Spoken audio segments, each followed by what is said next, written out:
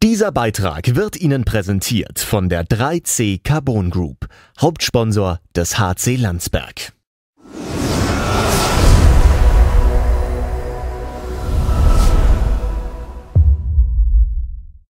So, schönen guten Abend und herzlich willkommen zur heutigen Pressekonferenz, 14. Spieltag der Bayernliga, Heimspiel HC Landsberg River Kings gegen die Kissinger Wölfe. Begrüßen möchte ich erstmal die hier anwesenden Gäste in Kings Room und natürlich die Zuschauer auf River Kings TV und unsere beiden Coaches, in dem Fall unseren Co-Trainer und Vorstandsvorsitzender der Wölfe, Michael Rosin. Herzlich willkommen zum ersten Mal hier im Landsberger Eisstadion. Und natürlich äh, Randy Neal, unseren Head Coach. Endstand des heutigen Spiels 7 zu 2 vor 872 Zuschauern in der Ladies Night war ganz äh, beachtlich. Vorstand haben wir noch die anderen Ergebnisse. ESC Geretsried gegen den ERV Schweinfurt 7 zu 3. TSV Peißenberg gegen den ERC Königsbrunn 1 zu 4. EV Pegnitz gegen den EV Füssen 3 zu 4 nach Verlängerung. ERC Klostersee gegen den TIV Miesbach 2 zu 1 nach Verlängerung. EA Schongau gegen den ESC Dorfen 4 zu 5 nach Verlängerung. Und EAF Passau gegen den TSV Erding 3 zu 0. Landsberg bleibt somit auf dem vierten Tabellenplatz. Ja, die ersten Worte gehören Ihnen, Herr Ronsin. 7 zu 2, so haben Sie sich das, glaube ich, hier nicht vorgestellt. Ja, wunderschönen guten Abend von meiner Seite. Ähm, ich sage mal, dass das heute nicht leicht wird hier, das war uns allen vollkommen klar. Ähm, vor allem auch mit dem dezimierten Kader, mit dem ich heute angereist bin, fünfmal letztendlich weniger. Ähm, heute während des Spiels ja, leider nochmal zwei Verletzte dazu bekommen mit einer Schlüsselbeinfraktur, der fällt man die ganze Saison aus. Der zweite mit einer Rippenfraktur, so wie es ausschaut. Ähm, ja, wie gesagt, momentan haben wir das Glück noch, dass wir auf dem Tabellenplatz 3 stehen. Ähm, mal schauen, wie sich die nächsten Spiele entwickeln und das nächste Wechselfenster losgeht. Und dann dementsprechend ähm, die Mannschaft wieder auf diversen Positionen verstärkt werden wird oder werden muss. Weil, wie gesagt, mit dem kleinen Kader brauchst du die Saison natürlich nicht zu Ende zu spielen. Glückwunsch an euch, ihr habt das super gemacht. Ähm, meine letztendlich hatten heute, was da angeht, eigentlich überhaupt keine, keine Karten. Ähm, kommen letztendlich da ihre Stärken, die sie normalerweise haben, auch mit ausspielen. Ähm, nach 60 Minuten mit den wenigen Leuten sich ja auch am Ende der Kräfte. Insofern hoffen wir auf Sonntag, schauen wir, was der Sonntag bringt und äh, ja.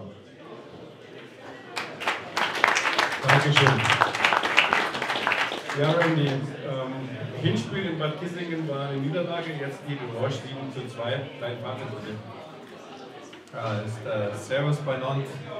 Ja, so, so ein Spiel halt, das, äh, haben äh, gewusst, wie stark Kissingen ist in, in Offensiv. Äh, der Tormann, ein sehr starker Tormann. Wir haben uns äh, diese Woche eigentlich ganz gut vorbereitet. Äh, wir wollten äh, eine Scheibe tief spielen, wir wollten eine Scheibe hinten den Gegner bringen. Und äh, wir haben das sehr gut gemacht, sehr diszipliniert haben die Jungs gespielt. Äh, wir haben versucht, die Geschwindigkeit hochzuhalten und die Countermöglichkeiten von, äh, ich sage, von der sehr gefährlichen äh, Kissinger Mannschaft, weil die trotzdem mit wenig Leid, äh, die ganze Starken waren alle dabei. Und äh, das sind nicht umsonst äh, erste, zweite und vierte, was weiß ich, in der Torschüssenliste. Äh, und wenig Leid ist es, äh, das heißt, du kannst viel auf Eis. Äh, aber wir haben unseren Job getan, was wir wollten tun. Und äh, haben wir in der zweiten Viertel, fünf Minuten so circa, haben wir versucht, wir irgendwie spielerisch was, was erledigen. Und dann haben wir in der zweiten kein wenig korrigiert. Und äh, dann muss ich schon sagen, wir sind rausgekommen im dritten Viertel und sehr, sehr diszipliniert gespielt. Äh, wir haben gespielt, was Alle drei Block äh, ganz gut, muss ich schon sagen. Und äh, eigentlich insgesamt äh, wichtige Punkte in der verdienten Sieg. Dankeschön. Kommen wir noch kurz zum Kader. Ohne, ohne Bauer und ohne Lied, die waren, glaube ich, beruflich verhindert. Der Sven hat angefangen gekommen, war aber dann relativ schnell schon wieder ähm, geduscht umgezogen, auf der anderen Seite der Scheibe gestanden. Ja, mit, mit äh, Uh, äh, der, der Dennis, ist in Mexiko mit beruflich unterwegs, die äh, Sven, wir haben das Gerätformspiel, äh, uh, was, was manchmal, weil der war richtig krank und aber wir haben nicht gewusst, der Rasmussen hat es durch. Äh, sein erstes Spiel hier eigentlich nehme es nicht zu früh, aber ich muss sagen, sehr gut verkraftet, er ist gut durchgekommen, er hat den Job einfach gemacht. Und dann äh, nach der ersten Viertel haben wir entschieden, dass wir das, das geht vom Eis runter und äh, tut praktisch äh, versuchen, äh, ein bisschen Ruhe reinzubringen, dass äh, seine Kräfte wird besser. Äh, in der Hoffnung, dass am Sonntag ist er wirklich fit wieder. Also, ja, positiv Maxi, erstes Spiel. Uh, der hat im Training am Dienstag uh, so viel Gas gegeben, dass er entschieden hat, dass jetzt spielst du am Wochenende, hast keine Ball. Der, von der Luft her es drin, uh, von der Handlung war mir nicht sicher, aber das ist ganz gut gekommen und bin ich sehr froh, weil er ist bereit für die Mannschaft hinten, das braucht man, Stabilität braucht man und, und das, das hat Maxi auch positiv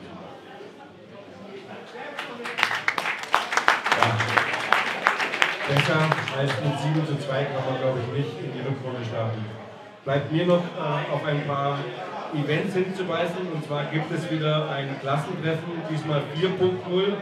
Drummy ist wieder on board am 16. Dezember.